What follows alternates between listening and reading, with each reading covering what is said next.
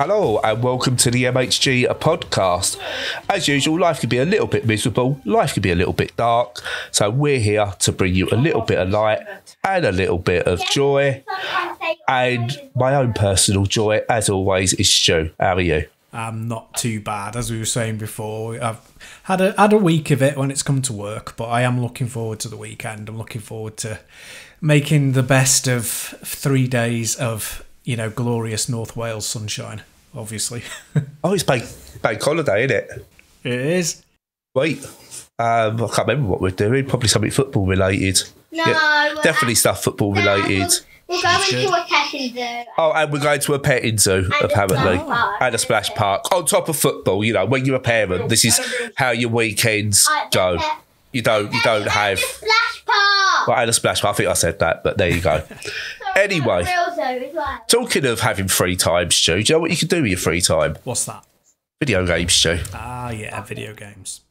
Video games. Um, I've got plenty I've been playing. You've only got the one. Um, so I'm going to let you ask the question.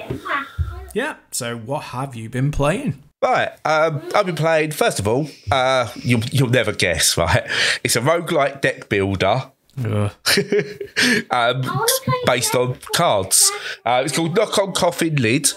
Uh, not what I originally thought it was called, which I thought was called Knock on Coffin Limited. It's not. It's not. It's Knock on Coffin Lid. Um, basically, the game is a mix of Slay the Spire and um, Darkest Dungeon. I would say is probably the best way to to describe it. Um, it's very gothic horror-y. Is that a word? Horror-y? Gothic horror-y? It is now. Um, it's, it's gothic horror. There's sto- there's a uh, really interesting story actually. I'll come to that in a second as to why the story's interesting. But basically, you go on a journey um, with your characters, and you have to obviously it's a deck builder, so you have to sort of like beat enemies, get cards, build your deck, improve your deck to get better against better enemies, move on, do different events that might happen that might help you or hinder you, and then get to the end, and then complete a final boss and then go back to the start and redo it all. Nothing new, nothing that's going to break any uh, barriers or, or anything like that. No glass ceilings are being smashed open here. But the gameplay mechanics are really good and interesting. But what carries this game, interestingly enough, is unlike sorry, it is six weeks holidays, autistic child. Um, is what what really carries the game is the story. Um, it's a got a very interesting uh, RPG style story to it that develops as you go, and your your decisions within the game actually have an effect on the story. And what you could do when you beat the final boss the first time has an effect on the overall world, uh, which is really really good. Um, but it's dark and it's gothic and it's well written. Um, and I say it's one of those I've completed through it once and I went back and yet it, it's engaging enough that I want to go again with new mechanics, new story elements. Um, the enemy types you face are are varied, but not too varied that it just feels random. So you, you feel like you can actually have a strategy. All those things that are needed for deck builders to make it work are there. And as I said, there's a really interesting story that goes along with it. Each of the heroes that you have has their own secrets and their own developing backstory uh, and stuff like that. Um, so it's one of those, if you like Slay the Spire and you do like things like Darkest Dungeon, where, where Darkest Dungeon has more story based stuff to it, I think this is a great little title to have. It's not gonna, I say, it's not one that's gonna change anyone's minds. If you don't like deck builders, you're not going to like this. Um, but it's, yeah, if you're a fan of them, uh, you've got a bit of a gap between Slay the Spire 2 coming, um, then yeah, give it a go. Good enough. Good enough. Um, and hopefully that wasn't too much autism in there for you in the background. It's all okay. It's all okay. It's all part of human nature and human life. it is indeed. Um, and another quick one that I've been playing that shouldn't take too long before you get to yours is a game called Phantom Spark, um, which on the on the on the surface looks like it's a Wipeout clone. Uh, but what this is is more Trackmania mixed with uh, wipeout mechanics. So rather than it being a a wipeout game where you've got right you're, you're properly racing you've got weapons and you're battling and stuff like that. It is essentially time trials. So you start one end and you go to the other end. Um, and that's basically the game. Um, you start you, you you set a time and then you basically go right you've got this time. Do you want to go back and do it again or do you want to move on to the next level? Because you've you've got a good enough time to move on um, and it's really encouraging you, like very quick restarts, which is what all these games need. You go back, you beat more times, your friends' times are on there, the best times in the world are on there, your next possible time you could beat are all ghosts on the track for you. Um, the, the tracks are really interesting, really varied. They're not as futuristic as a wipeout, they're more um, they, they seem almost in places inspired by Greek culture. Uh, that sort of um, aesthetic to it. Um, it, it's, but it's one of those I put on. I thought, oh, you know what? I might play this for 20 minutes, see what it's like, and go. But it's um, Sweet. I've, I've put it on and I've been just enamored by the leaderboard, trying to get that extra 0.01 seconds out of it, um, trying to beat your best time. Going, oh, I just got caught up on that bit of the track. I know I can do better. All of that side of it is, is, is there and it's absolutely wonderful. As I said, results pop up instantly, so you know if you're doing well. The ghosts are are really well done. So some of some racing game ghosts is the ghosts are either too invisible that you don't quite know they're there, or they're too intrusive. This balances it really, really well. Um, so you can kind of follow through, learn paths and stuff like that without thinking, oh, they're so intrusive, I think I'm going to crash into one. Even though you know you're not, sometimes your brain's going, that's a ghost, I'm going to hit it. Um, but yeah, it's um, just it's constantly giving you ways to get better and give you something to target.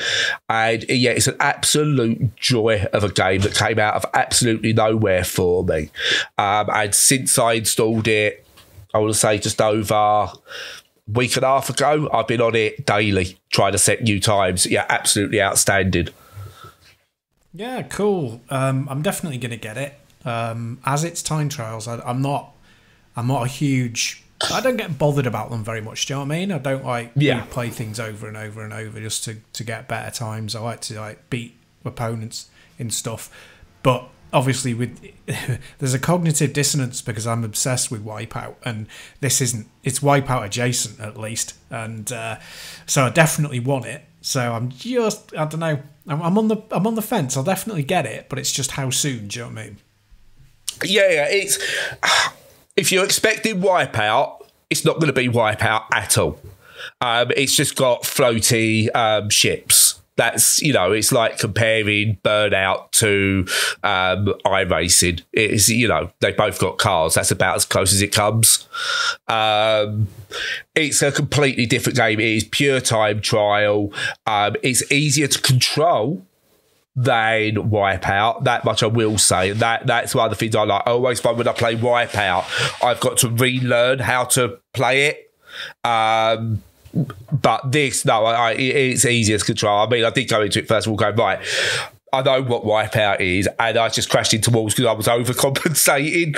Um, and then you realise, oh, actually, it's a lot more forgiving. Um, for someone like yourself, who's a big Wipeout fan, I would argue maybe wait for a sale maybe.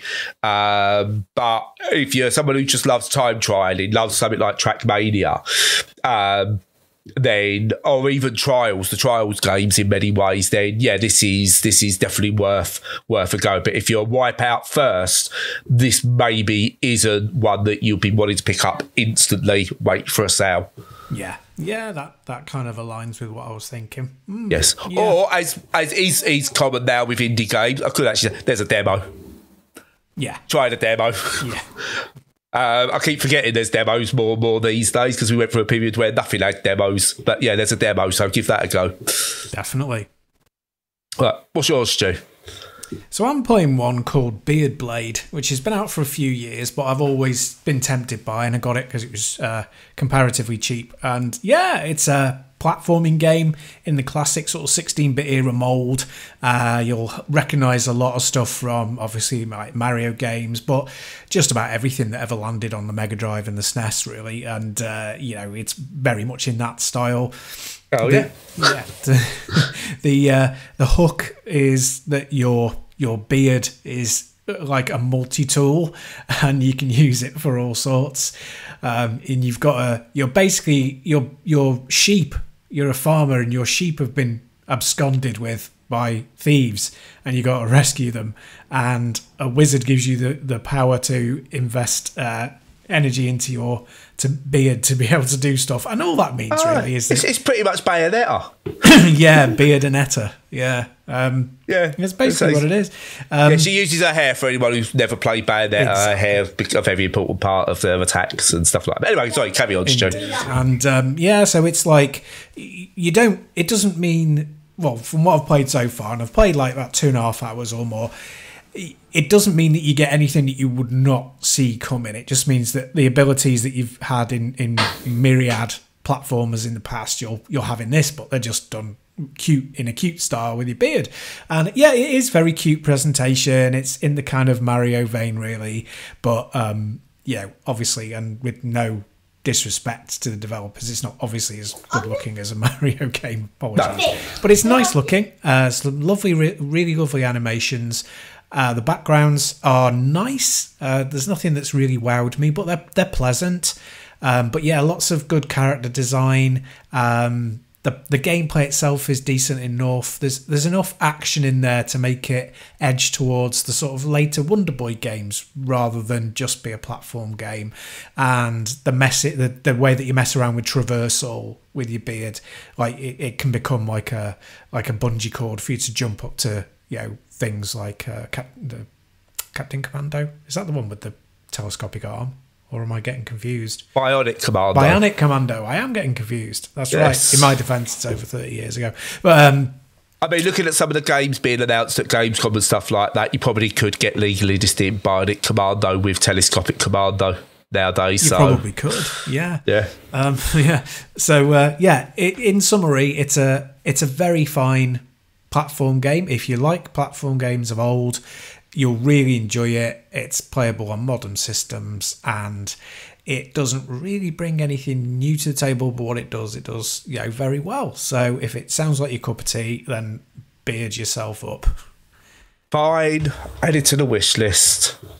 Yeah, no, it does look it does look good actually. Um, although I do like that on the uh, trailer on Steam, there's a he walks into a room and basically walks into Luigi.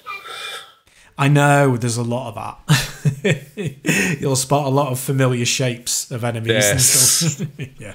Yes. Um, no, yeah, it looks interesting. It's one of those. Um, I'm not in a platform mood at the moment, but I've added it to the wish list for when I am. I don't think I've actually got any platformers on deck at the moment ready to go. So yeah, interesting. Yeah, definitely added to the list. It looks interesting. Um, oh, uh, when did it come out? Last about three, oh, three years ago. Yeah, yeah, crazy. Yeah. One of those that went completely years, under yeah. the radar. Yep.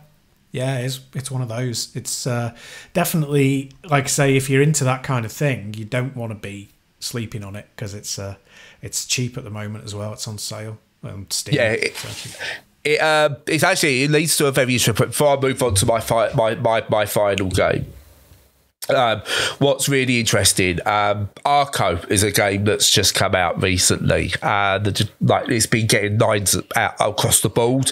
Um, I, I reviewed it on um, our indie game roundup, and I absolutely adore it. It's a brilliant turn-based RPG with some interesting mechanics and a brilliantly developing story.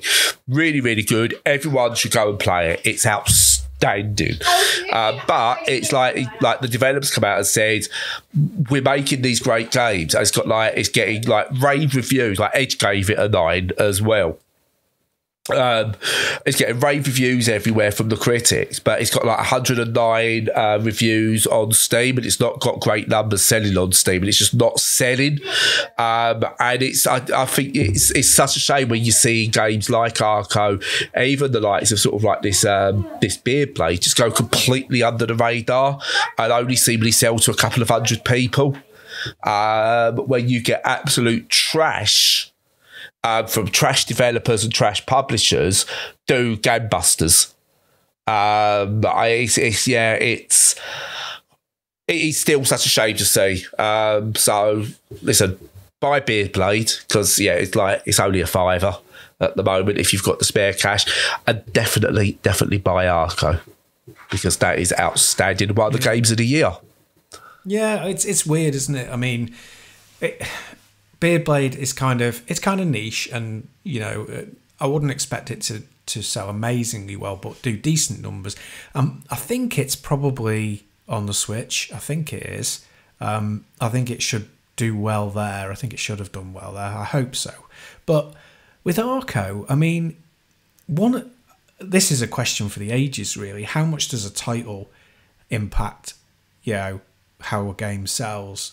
Because I mean, to me, it's it sounds like ICO or you know, Eco, as it's pronounced, um, which makes you think it's a a three D, you know, platforming game, puzzle adventure, rather than what it is. And how many people are overlooking it because it's got a bit of a generic title? And how do you align with what RPG titles are like so that you can get into that niche, or should you even bother? You know, is that the way we should be doing things? I'm not really asking for answers. It's just a funny one, isn't it? Yeah, no, it is an interesting point because it doesn't say it's definitely a title that doesn't say what the game is. Um, or, or, or anything like that. But I can't think of what you could call this um, to make it stand out and describe what it is without just being generic. Um, and I think that that that that will be a danger. It's um, I think what doesn't help, we're at a time where there's just so many great indies coming out as well. Um, I know people who are big into indies that have just said, like, I've got it on my wish list. I just haven't got time to get to it yet. Um, and I mean, I, I won't lie, you know, um, just so everyone knows, bit of honesty, I don't complete all the games that I talk about because I just don't get time. Um, I play as much of them as I can to talk about them, and then I play them in my own time down the line. And Arco's one of those though, which has held me, and I've got most of the way through, and I've only got a little bit left to finish. So it, you know that's how good it is that even for review, I got most of the way through it. Um, so yeah, big believer. You don't need to finish a game to review it. Just just heads up. Um, but yeah, I, I, don't know what it could do, what it needs to do. It's unique in its mechanics. The story's really good. Everything about it is absolutely spot on. But at the same time, I see why it's not an easy sell for some people. Um, yeah, I don't know the answer. Yeah. If you do know the answer, like and subscribe. I don't know. That's what you're doing it. That's right. It's like having the greatest podcast in the in, in, in the world and no one listens to it.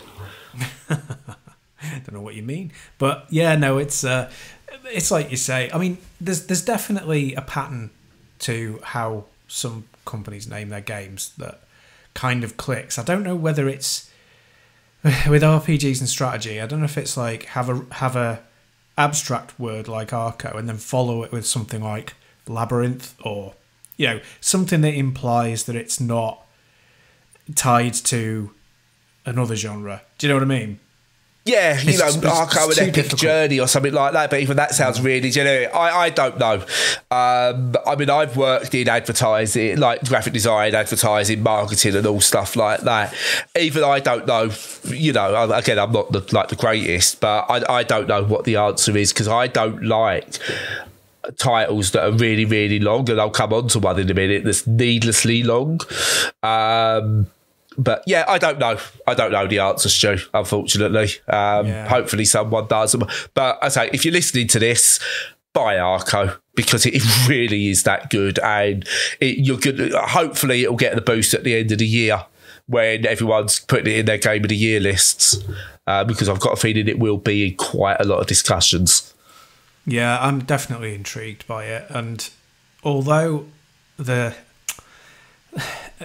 it looks good, let me say up front, it looks gorgeous. You know, it looks lovely. But I'm not a huge fan of modern games pushing the 8-bit aesthetic. I know that sounds crazy, but I, I like it when you know, yeah, the pixel graphics they're lovely, but I do like it where there's a lot of art in there that's kind of pushing the boundaries a little bit more, you know. But I know indie developer, yeah, yeah, yeah. I know all that. I'm not being critical of the developer. I'm just, I don't know, it that might have had a factor as well. Um, in Possibly. terms of popularity, but that's no criticism or shade on the game. The style it is works. gorgeous. It, it, works. in context of the game as well. So when you play the game, you understand why they've gone for that art style as well. So it's it's a difficult one. Yeah, a lot of people. I know you're not one of those people. A lot of people will look at the visual style, and go, ugh, not doing that. Um, but it, it works. You can see why they've done what they've done. Um, I say, hopefully, it works out for them in the long run because it deserves to. I agree. Right, moving on with regards to titles, and something a bit needlessly uh, overtitled. I've also been playing Tiebreak, official game of the ATP and the WTA. Now, that's an overly long title because you either know what a tiebreak is and what sport that's associated with, or you don't. The subtitle does nothing to change that. Official game of the ATP and WTA. And like, if you know tiebreak is tennis, you know that the ATP and the WTA are tennis, so you don't need the other bit. If you don't know that tiebreak is tennis, you haven't got a clue what an ATP is or WTA is. Yeah. So yeah, weird. But anyway, titles aside, um, tiebreak is the official game of the ATP and the WTA. Um, now I've got a bit of a hit miss relationship with tennis games. Um, I think Anna Kournikova Smash Court Tennis is one of the best because it, it's, it's arcadey enough and it's like virtual tennis has that balance of make you feel like you're actually good at tennis and still arcadey so you can actually win. And then you've got things like tennis elbow, um, uh, Roland Garros, where you've got to be perfect and it tries to get the actual mechanics of tennis in and they're, they're brilliant like in terms of simulation but just not playable um, for your average person then you had uh, Topspin 2K25. So we finally got a new Topspin come out, and that was a microtransaction based mess because it was from 2K. And again, went too far on the you've got to make sure you're hitting this in the exact right moment or you're going to mess up. It's like, oh, no, that's not what I want. I want to be able, I can't concentrate on where the opposition player is, where the ball's coming back, where the ball is in terms of distance from me to the net to the other side to hit it at the right point while then choosing where it goes. It's too much to do in a video game. Uh, so tie break does it's just it's got the balance spot on for me. Um, you play, um, and there is timing in it. So if you're too early, you might hit it into a net or only do a soft shot or not get the shot you want. Too late, you might overhit it and hit it out. Uh, but you've got this window in between where you can get it where you want it to go. There's a like a perfect hit as well, so you'll get proper power and the distance you want to go. And rather than going oh, your left stick is going to aim precisely on the court where you want it. So, you like if you're roughhouse like me, you're like holding it to the top left, trying to aim for that corner. You're always going to hit it out because you can't get that balance right. This just goes look. We'll work it out for you based on the direction you're hitting, where you're stood, and the power you're choosing, and the type of shot. We'll, we'll, choose where it goes on the court. But if you want more control, you can hold this extra button, and it opens it up and allows you to get more precise aiming if you want to do that. Pardon me. Uh, really, really good. You can get down and you can play tennis.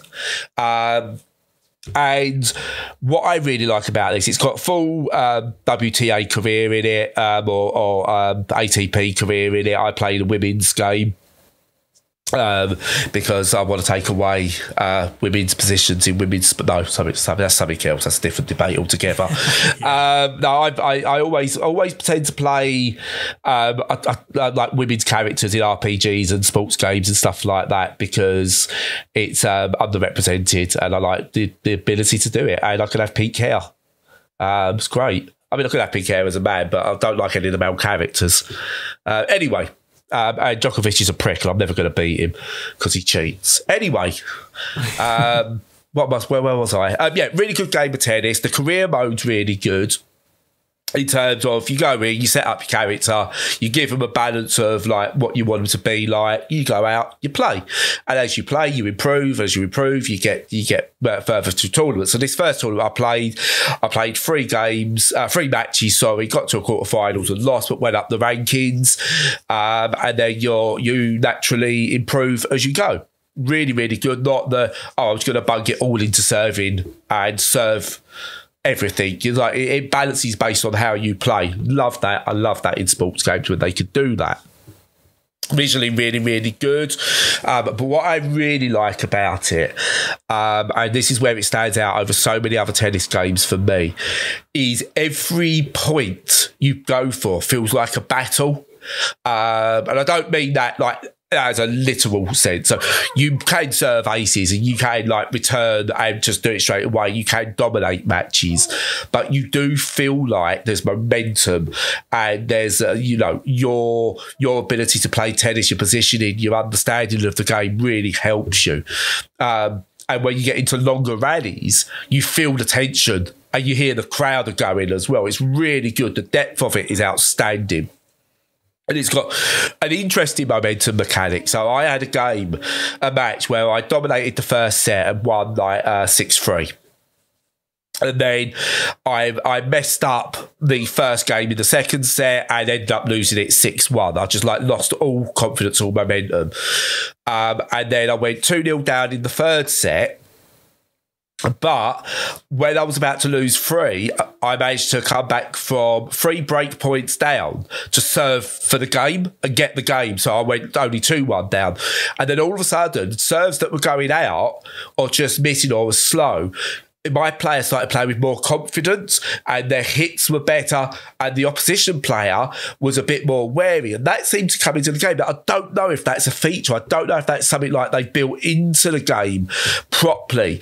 But it's really interesting to know that sometimes you just have to survive. And you watch, if you watch any sport, sometimes it's getting through a period where you've just got to survive. Um, and then you can build on that. And this nails that absolutely perfectly. Um, and yeah, it's probably the best tennis game I've played since like some of the early virtual tennis games, just in terms of accessibility, but also with the, um, the a good career mode, the depth in how it plays. It feels realistic. It plays. It looks nice. Um, you could do. I haven't touched this yet, but there's creation tools. You can create your own like tennis stadiums and things like that as well. Uh, absolutely brilliant. Um, I don't know what anyone else has been saying about it. I don't even really like tennis in real life. I think it's boring, but it's one of those games I really like, a bit like golf. I like golf games, but golf is like boring to watch on TV. Um, but yeah, it's it's outstanding, absolutely outstanding. Verified on Steam Deck as well. Runs oh smooth as butter, absolute smooth as butter. Um, and yeah, um, I got sent the full edition that's got all like the different outfits. So technically, there is DLC to buy uh, which gives you um, a clothing pack, and there's a Djokovic challenges pack, which is an extra mode. Um, again, I would argue don't do that. Just put it in the game because apart from that, there's no microtransactions. Just stick it in the game. Um, but it's not ruining the core experience. It is a complete standalone Novak Djokovic thing. So if you don't like the cheating uh, COVID denier, then yeah, you can avoid him if you want, I suppose. So that that's always good. But yeah, I, I really like it. Really, really like it. Um, and it's good to have a good sports game that's not just trying to take all the money from your pocket. Yeah, we should we should always avoid the donkey cheese hoarding mofo. Um, uh, yeah, COVID denying scum. Um, God, that's really going off on one yeah. of them, isn't it? We, we promised games game, only game. this week. yeah, that's right. this this game it looks like it's got mixed reviews. Hmm. People mm. having problems with uh, the AI, not happy with it, um, and the controls a little bit. I've seen basically what I've seen people complain about is the thing I like about it that it's not just right i've worked out how to hit this ball i was going to use that. So it changes like there's there's confidence in the game. So you might choose i'm going to go to my forehand all the time or sorry i'm going to try a top spin shot all the time. And that might be great but as soon as the opposition starts hitting it back it becomes harder to hit that shot. So I think that's when I've read a lot of the negative complaints, that's what it's been about. Is the oh, the controls don't work the same as they do all the time. Well, yeah, because that's how sport works. Oh, yeah.